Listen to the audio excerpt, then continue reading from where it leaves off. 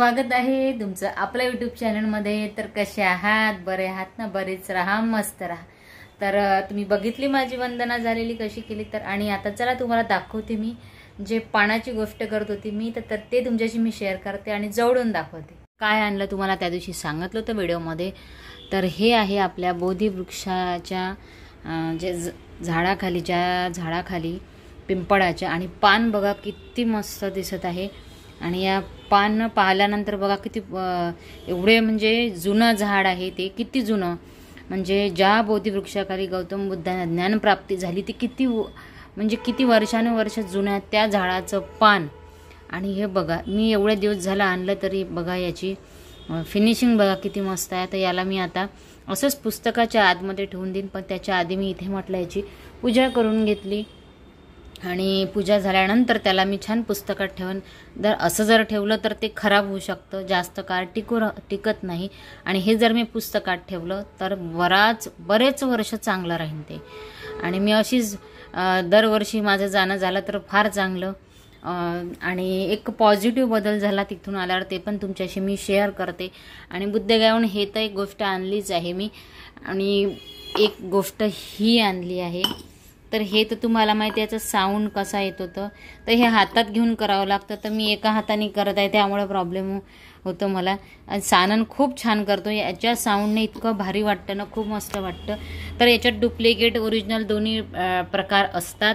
तर ते तुम्हाला ओळखावं लागते. आणि आतमधून बघा याच्या काय राहते. तर हे बघा इथं गौतम बुद्धाच्या प्रती असतात याच्या आतमध्ये.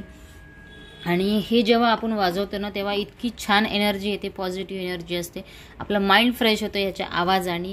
तर भरपूर गोष्टी तिथून आणल्या आहे मी. पण आता प्रत्येकाने आपल्या आपल्यासोबत नेल्या.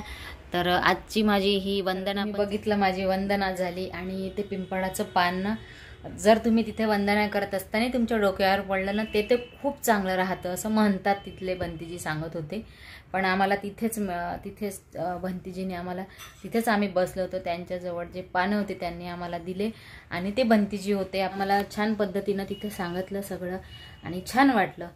तर आता संध्याकाळचा टाईम झाला. तर संध्याकाळची पूजा ही सकाळची नाही आहे माझी. आणि सानन आला शाळेतून. हे बघा सानन दिसत नाही व्हिडिओमध्ये तुम्हाला.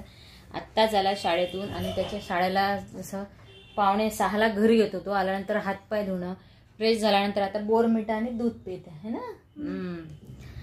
तर एक पॉझिटिव्ह गोष्ट तुम्हाला सांगितली जसं मी माझ्या आयुष्यात म्हणजे मी असं नाही का आत्ताच लॉकडाऊनपासून ती गोष्ट मी खूप दिवसाची सोडायचा प्रयत्न करत होती. मला ज्या गोष्टीची सगळ्यात जास्त चीड येते ना ते म्हणजे उशी उशिरापर्यंत झोपणं. हे मला बिलकुल आवडत नाही. मग ते कोणी असो.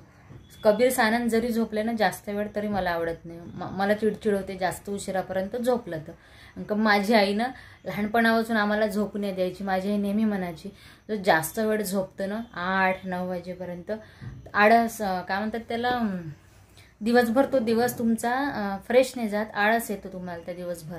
जर तुम्ही जास्त उशिरा उठले तर. तर माझी ही सवय लॉकडाऊनपासून जास्तच लागली होती. मी रोज म्हणायची आज लवकर उठतं.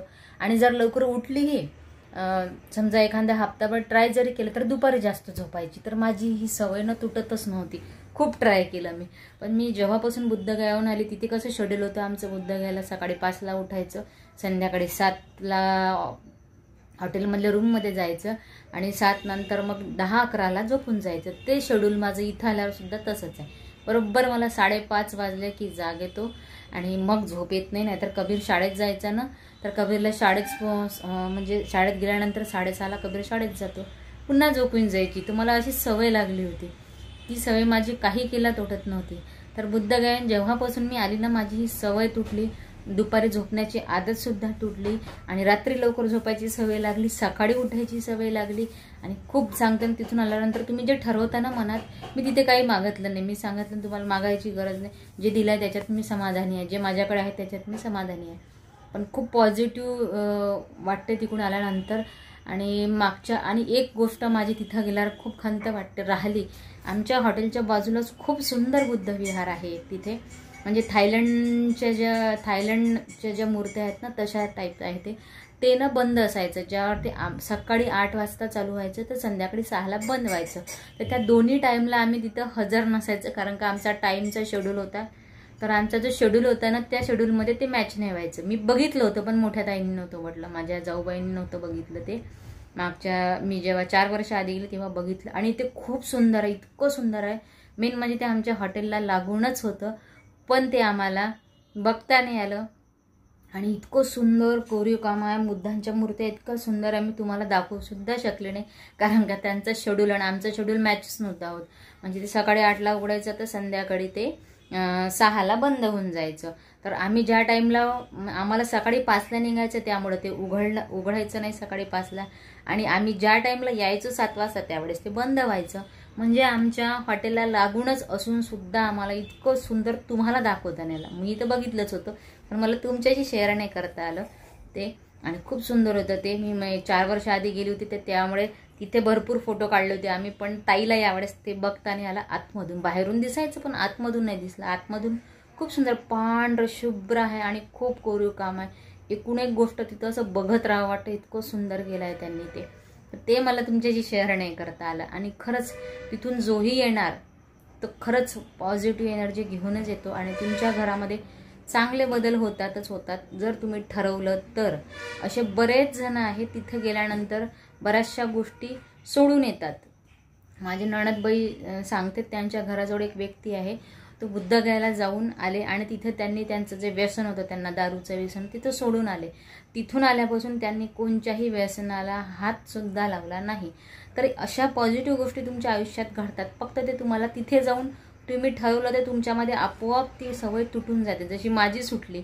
न कळत का होईना पण तिथं गेल्यापासून माझी ती सवय तुटून गेली. आणि मला खरंच चांगलं वाटतं. सकाळी उठल्यानंतर जेवढं फ्रेश वाटतं ना तेवढं आपण तुम्ही आठ सातला उठलं आणि मुलांना तर बोलून काही अर्थ नाही. मुलं करतातच तसे. तर चला कबीराला. तर असा माझा अनुभव मी आज तुमच्याशी शेअर केला आणि मला बरेच जणांनी खूप छान म्हटलं कसं झालं तर सगळं व्यवस्थित झालं. मला बरेच जण म्हणत होते ताई तुम्ही आजारी पडल्या का नाही? बिलकुल आजारी नाही पडली. मस्त आहे फ्रेश आहे. आहे ना रे? आणि मुलं पण फ्रेश आहे. फक्त कबीरला सकाळी शाळेत जावं लागतं ना. तर त्यामुळे त्याला लवकर उठवून आंघोळ करावं लागतं. त्यामुळे त्याला थोडंसं आहे पण. पण आम्हाला नाही आहे यांना नाही. सगळे आपल्या कामाला रुटीनला लागले. आणि ताई पण मस्त आहे ठणठणीत आहे. तर असा होता आजचा ब्लॉग छोटा ब्लॉग होता आणि आमचा सानन बघा. शाळेतून आल्यानंतर थकून जातो कारण का आता गॅदरिंगची प्रॅक्टिस चालू आहे ना सानन? तर चला व्हिडिओला एंड करू.